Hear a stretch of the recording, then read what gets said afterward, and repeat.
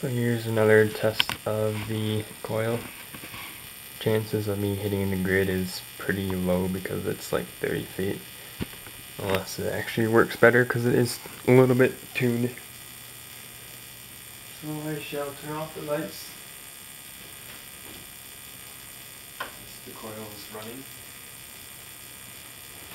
And see what happens and hope I don't hit anything besides the grid. Should only come out the breakout, not anywhere else.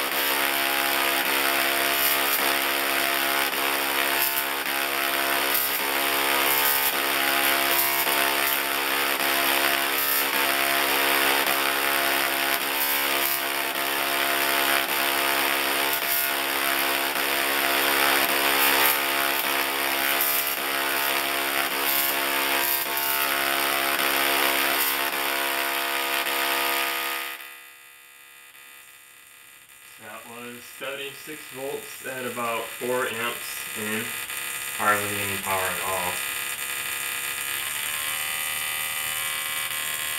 Maybe a little bit more uh, frequency.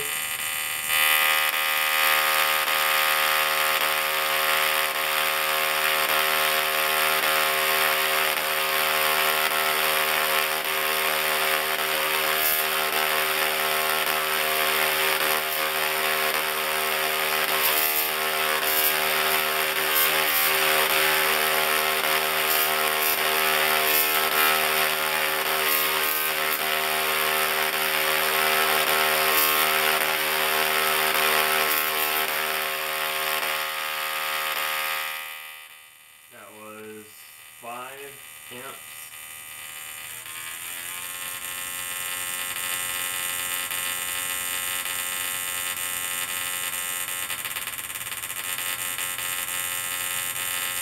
reason for the um, interrupter is because without it my interrupter is getting feedback which destroys its output.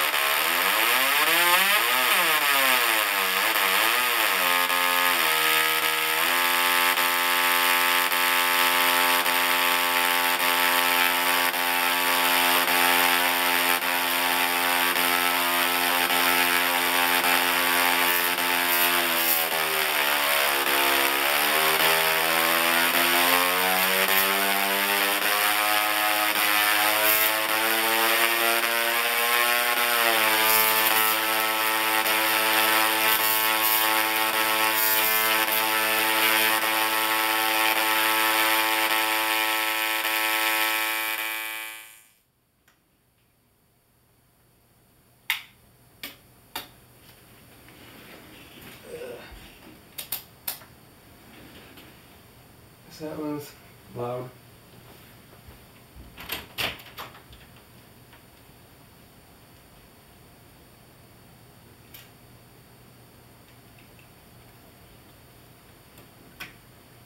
As for output length, we were hitting the grid, which was about uh, 39 inches of sparks. A little over 3 foot. And my goal is to at least get 4 foot, which should be easily possible because that was not half even. It was a little bit over a half power.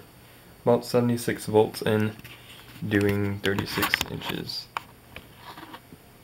With my crappy top load, which does work. Luckily I was not arcing to these lights, which were about 3 feet away from the top load.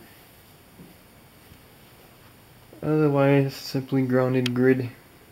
Nothing special. Primary does now have a grounding ring to it. It used to not.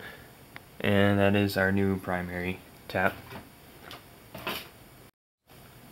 So when I was doing the variable frequency, the maximum amp draw I was getting was about 8 amps at the most at 70 volts.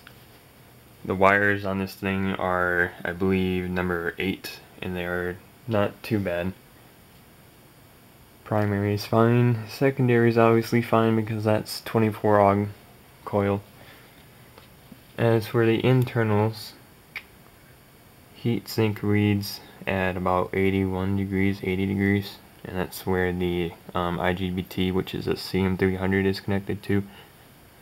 The capacitors, which are computer grade, are 82. The rectifier, no surprise, is about 101 degrees, 100 degrees. Everything else in the board though is fine on temperature. Nothing's getting too warm. Box is obviously room temperature. I think room temperature is 78 degrees and that was running this without its cooling fan because so far I'm not pushing anything near enough to overheat this 11 inch heatsink. So the coil runs good besides its very crappy finished uh, poly. So thanks for watching and hopefully I'll get 4 foot to retrieve my cache for doing this beta testing for um, Eastern Voltage Research.